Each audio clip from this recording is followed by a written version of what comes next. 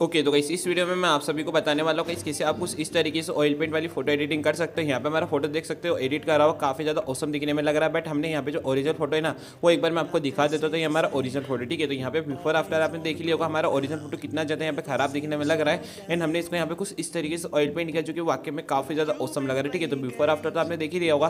तो इस वीडियो में अगर आपको इस स्टेप से ऑयल पेंट करना अपने फ़ोटो को सीखना है तो वीडियो को स्टेप बाय स्टेप वॉच करना क्योंकि यह एडिटिंग हम करने वाले हैं स्नैपसीड एप्लीकेशन की मदद से। सो अगर आपको जानने की कैसे मैंने तरीके से फ़ोटो को एडिट किया तो वीडियो को लास्ट तक ज़रूर देखना और उससे पहले मेरे चैनल पर ना तो प्लीज़ मेरे चैनल को सब्सक्राइब करके नोटिफिकेशन बेल पर क्लिक करके उसको ऑल पर सिलेक्ट कर लेना। तो चलिए वीडियो स्टार्ट करते हैं। तो सबसे पहले चीज़ कैसे अपने सिंपल फ़ोटो को अपने ऐड कर लिया है। अपने स्नैपसीड एप्लीकेशन के अंदर एंड यहाँ पर फ़ोटो को ऐड करने के बाद आपको क्या करना होगा कि यहाँ से वीडियो को अच्छे से वॉच करना होगा। तो सबसे पहली चीज़ आपको साइड में एक पेंसिल का आइकन देखने को मिला होगा, इस पर आपको टेप करना होगा एंड यहाँ से कोई ट्विन इमेज को सिलेक्ट कर लेना होगा, ठीक है? तो यहाँ से हम इसको सिलेक्ट कर लेते हैं। अब इसके बाद क्या करेंगे, अपने फ़ोटो के यहाँ पे ब्राइटनेस बढ़ा लेंगे। तो इस तरीके से फ़ोटो की ब्राइटनेस बढ़ा लेंगे एंड कंट्रास्ट को माइनस रखेंगे। एंड सेचुरेशन को यहाँ पे हम फुल्ली डिक्रीज रखेंगे माइनस मतलब एंड इसके बाद ऑमिडेंस को यहाँ पे हम plus twenty three and highlights को हम यहाँ पे रखेंगे माइनस पे, ठीक है? एंड इसके बाद सेडोज को हम यहाँ पे माइनस रखेंगे। एंड इसके बाद आपको क्या करना होगा कि यहाँ से आपको लास्ट में राइट पर क्लिक करके डन कर देना होगा। अब इसके बाद आपको ये कलर अपने मॉडल के फेस के ऊपर हटा लेना होगा।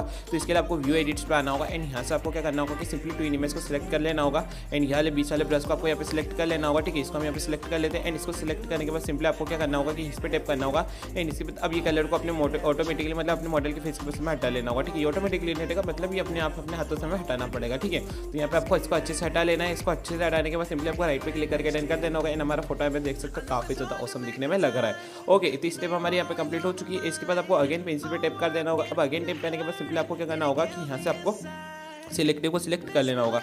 अब इसको यहाँ पे अपने मॉडल के फेस पे अप्लाई करना होगा एंड इस तरीके से अपने फेस को गोरा कर लेना होगा, ठीक है? यहाँ पे हमारा परफेक्ट फेस गोरा नहीं होगा बट यहाँ पे थोड़ा बहुत हमें इसका एक रिज़ल्ट देखने को मिल जाएगा। एक तक हम कंप्लीट कर लेना एंड अपने हमारा फ़ोटो देख सकते हो, काफ़ी ज़्यादा औसम लग रहा है। अब हमारे फेस को यहाँ पे स्मूथ करने की बारी आती है तो सिंपली पहले अपने फ़ोटो का हम शेयर कर लेते हैं। अपने ऑटोटेक्स स्केच बुक एप्लीकेशन के अंदर डायरेक्ट यहाँ पे हम ओपन हो जाएँगे।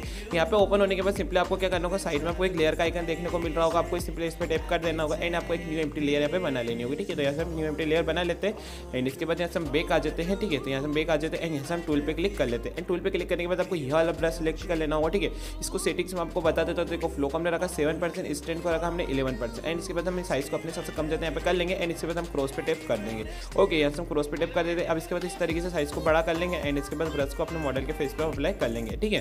तो इस तरीके से फेस पर अप्लाई कर लेते हैं। तो इस तरीके से हम फेस पर ब्रश को अप्लाई करेंगे ना तो हमारा फेस वाकई में काफ़ी ज़्यादा अच्छे से गोरा और स्मूथ हो जाएगा। तो यहाँ पे हम इस तरीके से अपने मॉडल के फेस को गोरा कर लेते हैं।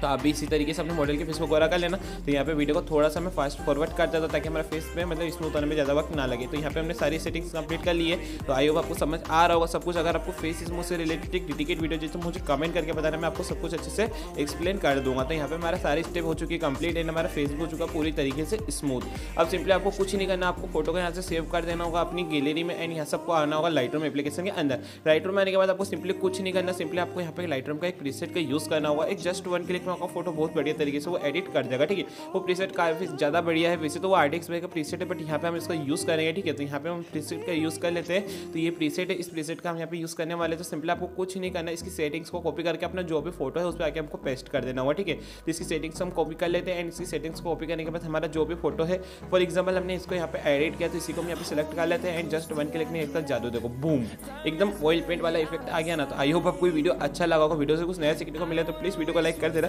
चैनल नहीं हो तो प्लीज़ चैनल को भी सब्सक्राइब कर लेना। मिलती है किसी नेक्स्ट वीडियो में। तब तक के लिए जय Hind, Vande Mataram take care bye bye